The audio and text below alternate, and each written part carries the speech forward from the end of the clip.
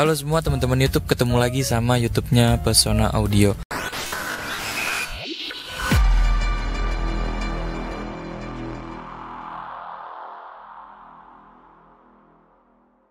Kali ini kita udah ada di dalam dari mobil Lexus LX 570 yang tahun 2010 ke atas. Dia yang masih versi lama yang contohnya kayak gini.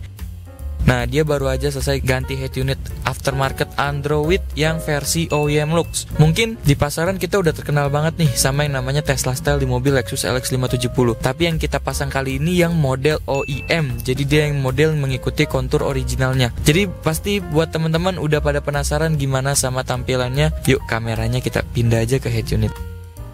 Nah ini dia tampilannya untuk head unit LX 570 aftermarket yang Android versi OEM Lux.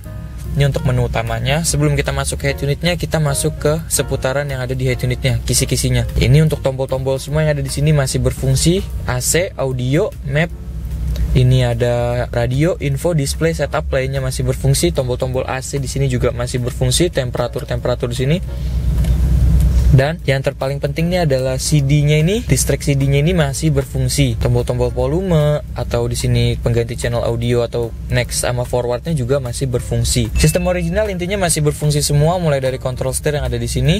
Ini juga berfungsi nanti bakal kita praktekin. Mode ada forward dan backwardnya juga masih berfungsi dan masih terhubung dengan power amplifier bawaan atau terintegrasi dengan power amplifier bawaan karena audionya sudah Mark Levinson jadi headset ini tetap masih bisa terintegrasi dengan sistem audio yang ada. Kita langsung aja buka aplikasi Android yang ada di head unit ini. Contoh ada YouTube di sini.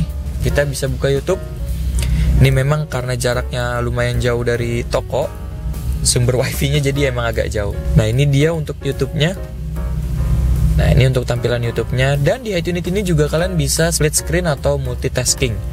Contohnya kayak gini kalian bisa pencet tombol minimize ditahan yang agak yang ditahan yang agak sedikit lama geser ke sini kemudian kalian bisa buka aplikasi Google Maps Nah, jadi kalian bisa tetap sambil nonton video atau dengerin musik di sebelah kiri dan di sebelah kanannya kalian bisa sambil ber Google navigasi. Nah, ini kayak gini. Ini cukup advance banget dan cukup ngebantu teman-teman dalam berkendara lebih maksimal lagi.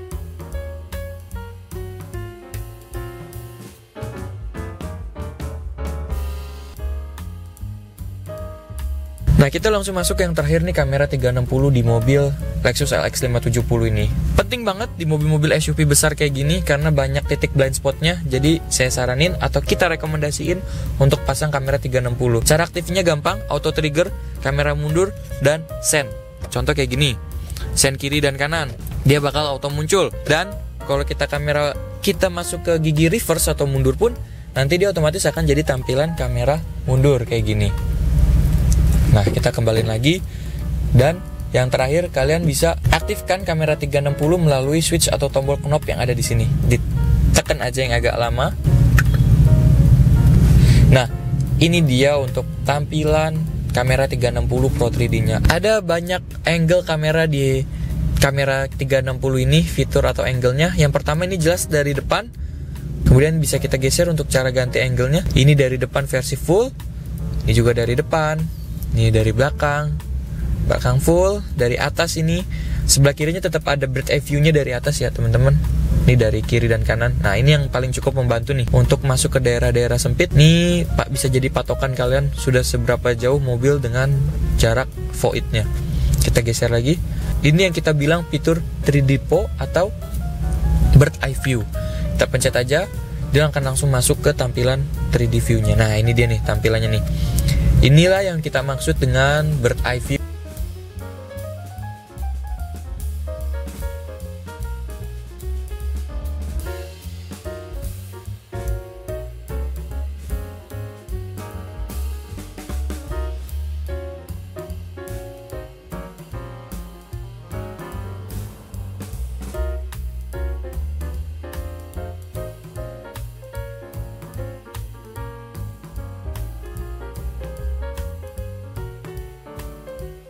Nah, teman-teman barusan udah kita review untuk hasil pemasangannya dan tampilan head unitnya kayak gimana. Ini bisa dibilang Untuk head unitnya ini terbaik karena dia framenya juga sudah mengikuti kontur dashboard original, tidak ada perubahan, pemasangannya pun plug and play semuanya. Sistem original berfungsi jadi tidak ada yang namanya merusak atau merubah sistem. Yang paling spesial yaitu looksnya benar-benar mirip original mulai dari tombol dan monitor head unitnya. Jadi buat teman-teman yang punya tipe mobil yang sama, bisa langsung dipasang di Pesona Audio, minta dipasangkan head unit OEM untuk Lexus LX 570 atau tipe mobil yang lainnya. Bisa langsung dikonsultasin dulu ke nomor yang ada di bawah. Mungkin sekian review dari Pesona Audio. Sampai jumpa di review selanjutnya.